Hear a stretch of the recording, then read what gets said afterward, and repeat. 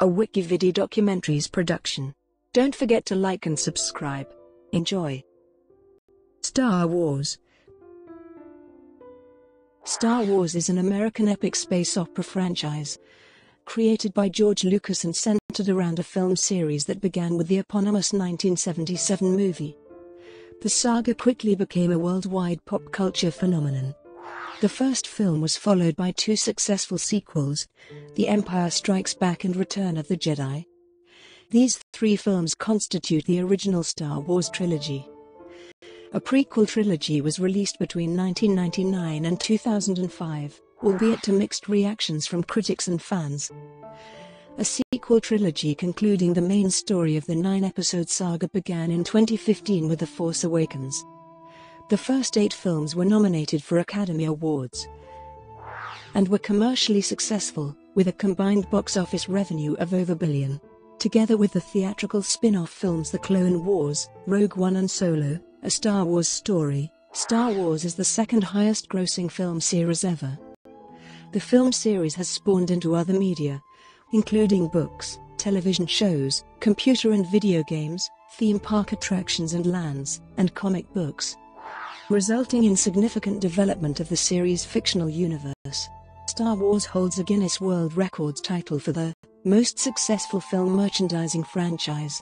In 2018, the total value of the Star Wars franchise was estimated at billion, and it is currently the fifth highest grossing media franchise of all time. Setting The Star Wars franchise depicts the adventures of characters a long time ago in a galaxy far, far away. Many species of aliens coexist with droids who may assist them in their daily routines. And space travel between planets is common due to hyperspace technology. The rises and falls of different governments are chronicled throughout the saga.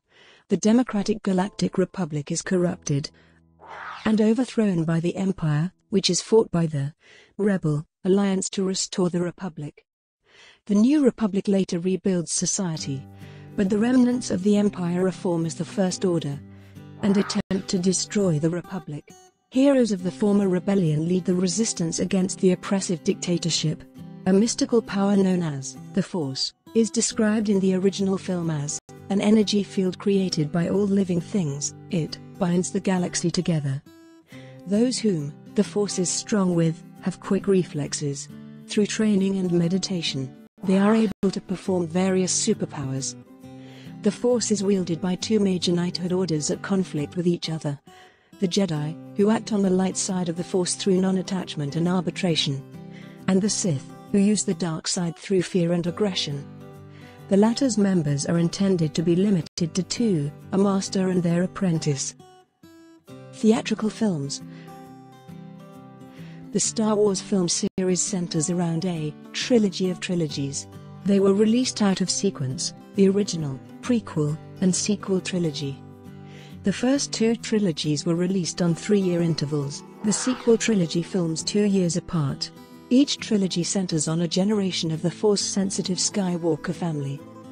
The prequels focus on Anakin Skywalker, the original trilogy on his son Luke, and the sequels on Luke's nephew Kylo Ren. A theatrical animated film, The Clone Wars, was released as a pilot to a TV series of the same name. They were among the last projects overseen by George Lucas before the franchise was sold to Disney in 2012. An anthology series set between the main episodes entered development in parallel to the production of the sequel trilogy, described by Disney CFO Jay Rasulo as origin stories. The first entry, Rogue One, tells the story of the rebels who steal the Death Star plans directly before Episode 4. Solo, a Star Wars story focuses on Han's backstory, also featuring Chewbacca and Lando Calrissian. An untitled trilogy by episode Vi's director Rian Johnson has been announced, with an additional film series by Game of Thrones creators David Benioff and D.B. Weiss also in development. Original Trilogy In 1971, Lucas wanted to film an adaptation of the Flash Gordon serial, but couldn't obtain the rights. He began developing his own story inspired by the work of Edgar Rice Burroughs. Immediately after directing American Graffiti, Lucas wrote a two-page synopsis for his space opera, titled Journal of the Whills. After United Artists, Universal Studios and Disney rejected the film, 20th Century Fox decided to invest in it. Lucas felt his original story was too difficult to understand, so on April 17, 1973, he began writing a 13-page script titled The Star Wars. Sharing strong similarities with Akira Kurosawa's The Hidden Fortress. By 1974, he had expanded the script into the first draft of a screenplay, adding elements such as the Sith and the Death Star. Subsequent drafts evolved into the script of the original film. Lucas negotiated to retain the sequel rights. Tom Pollock, then Lucas lawyer writes, We came to an agreement that George would retain the sequel rights. Not all the merchandising rights that came later, mind you. Just the sequel rights. And Fox would get a first opportunity and last refusal right to make the movie. Lucas was offered $50,000 to write, another $50,000 to produce, and $50,000 to direct the film. The offer was later increased. American Graffiti cast member Harrison Ford had given up on acting and become a carpenter whom Lucas hired for his home renovations. Until Lucas decided to cast him as Han Solo. Star Wars was released on May 25, 1977.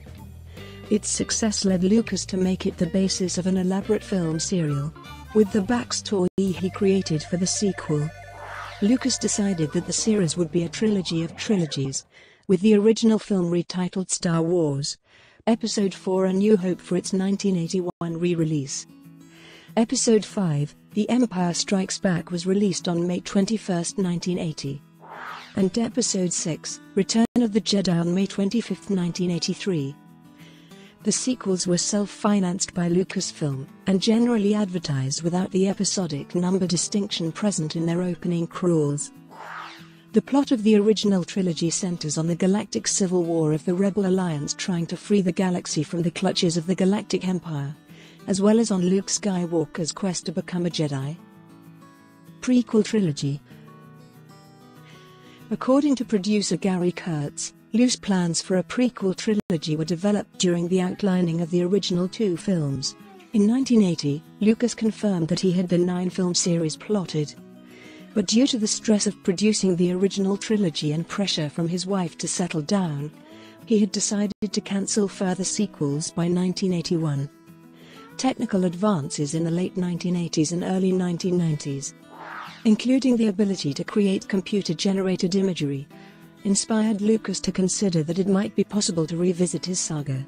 In 1989, Lucas stated that the prequel trilogy would be unbelievably expensive the popularity of the franchise had been prolonged by the Star Wars Expanded Universe, so that it still had a large audience. A theatrical re-release, updated. The original trilogy with the style of CGI envisioned for the new films. Episode 1, The Phantom Menace was released on May 19, 1999, and Episode 2, Attack of the Clones on May 16, 2002, both to mixed reviews. Episode 3, Revenge of the Sith, the first PG-13 film in the franchise, was released on May 19, 2005. The plot of the trilogy focuses on the fall of the Galactic Republic, the formation of the Empire, as well as the tragedy of Anakin Skywalker's turn to the dark side.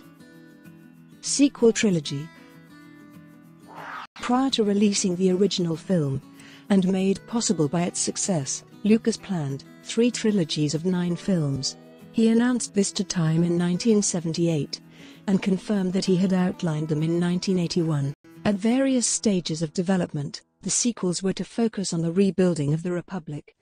The return of Luke in a role similar to that of Obi-Wan in the original trilogy, Luke's sister, Han, Leia, R2-D2 and C-3PO.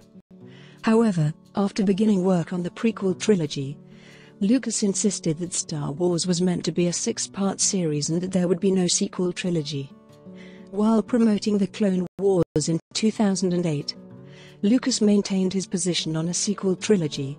The movies were the story of Anakin Skywalker and Luke Skywalker, and when Luke saves the galaxy and redeems his father, that's where that story ends. In May 2011, Lucas and Disney CEO Bob Iger began discussing the acquisition of Lucasfilm by Disney. A few months later, Lucas discreetly began working on guidelines for a sequel trilogy involving a microbiotic world and creatures known as the Whills, force beings that control the universe, although not all of his ideas would be used. He later decided to leave the franchise in the hands of other filmmakers, announcing in January 2012 that he would step away from making blockbuster films. Asked whether his decision was influenced by the criticism he received regarding the prequel trilogy and the alterations to the original trilogy, Lucas said, Why would I make any more when everybody yells at you and says what a terrible person you are? In October 2012, the Walt Disney Company agreed to buy Lucasfilm and announced that Episode 7 would be released in 2015. The co-chairman of Lucasfilm, Kathleen Kennedy, became president of the company. Reporting to Walt Disney Studios chairman Alan Horn, Kennedy also served as executive producer of new Star Wars feature films, with Lucas serving as creative consultant, as announced by Lucasfilm. The sequel trilogy also meant the end of the existing Star Wars expanded universe, which was discarded to give maximum creative freedom to the filmmakers and also preserve an element of surprise and discovery for the audience. The sequel trilogy focuses on the journey of the orphan scavenger Rey following in the footsteps of the Jedi with the guidance of the reluctant Last Jedi, Luke Skywalker. Along with ex-stormtrooper Finn, she helps the resistance led by Leia fight the First Order commanded by Supreme Leader Snoke and his pupil Kylo Ren. The Force Awakens was released on December 18, 2015. The Last Jedi on December 15, 2017. And Episode 9 is due to be released on December 20, 2019. Standalone films in his initial planning following the success of Star Wars, Lucas planned a few standalone films separate from the Skywalker saga. Theatrical films outside the main episodic series have their origin in the Ewok spin-off films Caravan of Courage, An Ewok Adventure and Ewoks, Battle for Endor, which were screened internationally after being produced for television. Although based on story ideas from Lucas, they do not bear Star Wars in their titles, and were considered to exist in a lower level of canon than the episodic films. After the conclusion of his then six-episode saga in 2005, Lucas continued developing spin-offs in the form of television series and theatrical films. Preceding the of the animated TV series in late 2008, the theatrical feature Star Wars, The Clone Wars was compiled from episodes, almost, as an afterthought. It reveals that Anakin trained an apprentice between Attack of the Clones and Revenge of the Sith. The series explains Padawan Ahsoka Tano's absence from the latter film. The character was originally criticized by fans. But by the end of the series the character had become a fan favorite. It exists in the same level of canon as the episodic and anthology films anthology films. Before selling Lucasfilm to Disney in 2012, and parallel to his development of a sequel trilogy, George Lucas and original trilogy co-screenwriter Lawrence Kasdan started development on a standalone film about a young Han Solo. On February 5, 2013, Disney CEO Bob Iger made public the development of the Kasdan film, along with an undisclosed film written by Simon Kinberg. Disney CFO Jay Rasulo has described the standalone films as origin stories. Lucasfilm and Kennedy have stated that the standalone films would be referred to as the Star Wars anthology series albeit the word anthology has not been used in any of the titles, instead carrying the promotional, A Star Wars Story, subtitle. Focused on how the rebels obtained the Death Star plans from the 1977 film. The first anthology film, Rogue One, was released on December 16, 2016 to favorable reviews and box office performance. The second, Solo, a Star Wars story, centered on a young Han Solo with Chewbacca and Lando as supporting characters, was released on May 25, 2018 to mixed reviews and little box office success. More anthology films are expected to be released. Untitled Trilogy by Rian Johnson in November 2017, Lucasfilm announced that Rian Johnson, the writer-slash-director of The Last Jedi, would be working on a new trilogy. The films will reportedly differ from the Skywalker-focused films in favor of focusing on new characters. Johnson is confirmed to write and direct the first film. Untitled films by Benioff and Weiss. In February 2018, it was announced that David Benioff and D.B. Weiss would write and produce a series of Star Wars films that are not Skywalker-focused films, similar to Rian Johnson's upcoming installments in the franchise. TV specials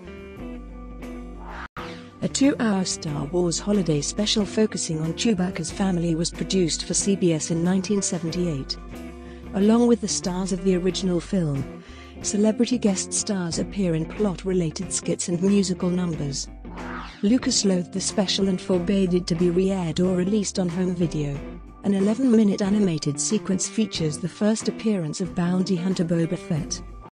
The Ewoks from Return of the Jedi were featured in two spin-off television films, The Ewok Adventure and Ewoks, The Battle for Endor. Both aired on ABC on the Thanksgiving weekends of 1984 and 1985, respectively. Warwick Davis reprised his debut role as the main Ewok, Wicket, in a story by Lucas and a screenplay by Bob Carrau. Wicket helps two children rescue their parents from a giant creature. In the sequel, the Ewoks protect their village from invaders, while a child from the first film tries to escape. Animated series Nelvana, the animation studio that had animated the animated segment of the holiday special was hired to create two animated series. Droids, which aired for one season on ABC, follows the adventures of and R2-D2 before the events of A New Hope. Its sister series Ewoks features the Ewoks before Return of the Jedi and the Ewok movies. After the release of Attack of the Clones, Cartoon Network produced and aired the micro-series Clone Wars from 2003 to weeks before the 2005 release of Revenge of the Sith. As the series featured events set between those films, it won the Primetime Emmy Awards for Outstanding Animated Program in 2004 and 2005. Lucas decided to invest in creating his own animation company, Lucasfilm Animation, and used it to create his first in-house Star Wars CGI animated series. The Clone Wars was introduced through a 2008 animated film of the same name. Both were accepted to the highest level canon in 2014. All series released afterwards would also be canon. In 2014, Disney XD began airing Star Wars Rebels, the first CGI animated series produced in the new era. Set between Revenge of the Sith and A New Hope, it follows a band of rebels as they fight the Galactic Empire and help close some of the arcs in the Clone Wars. The animated microseries Star Wars Forces of Destiny debuted in 2017, focusing on the female characters of the franchise. The animated series Star Wars Resistance debuted in late 2018, is anime-inspired, and focuses on a young Resistance pilot shortly before The Force Awakens. An additional animated comedy series, titled Star Wars Detours, was in production with 39 episodes completed, but was cancelled following Disney's acquisition of Lucasfilm and never aired. Live-action series In November 2017, Bob Iger discussed the development of a Star Wars series for Disney's digital streaming service, due to launch in 2019. It has been reported that there are multiple live-action Star Wars television series currently in development, with noteworthy talent involved. Jon Favreau, who previously voiced a character in the Clone Wars, will produce and write one of the television series. In May 2018, Favreau announced his series would be set three years after Return of the Jedi and feature motion capture. On October 3, 2018, Favreau revealed that his upcoming live-action Star Wars series would be called The Mandalorian and will follow the warrior race from which bounty hunters Jango Fett and Boba Fett were sprung, centering on a lone gunfighter in the outer reaches of the galaxy far from the authority of the New Republic. Favreau will write the script and act as executive producer for the series. Brought to you by Wikividi Documentaries. Would you like to know more?